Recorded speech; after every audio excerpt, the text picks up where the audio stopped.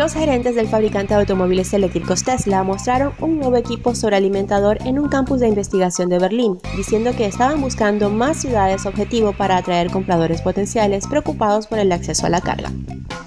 Ahora, como parte de nuestro compromiso de hacer que la propiedad de Tesla sea fácil y conveniente para todos, incluidos aquellos que no tienen acceso inmediato a la carga en el hogar o en el lugar del trabajo, estamos expandiendo la red de sobrealimentación a los centros de las ciudades, explicó Jerome Van Tilburg, gerente de infraestructura de carga para Europa en Tesla.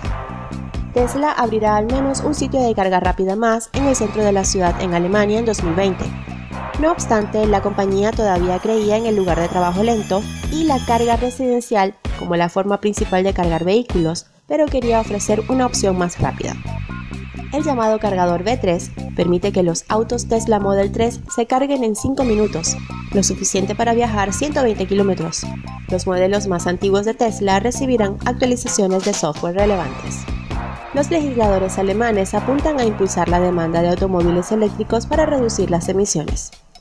Tenemos mucho que compensar en términos de infraestructura de carga, dijo el ministro de Economía de Alemania Peter Altmaier en el evento reiteró las promesas de acelerar el despliegue de puntos de cargas públicos y los permisos para la carga privada que habían obstaculizado las ventas en el pasado.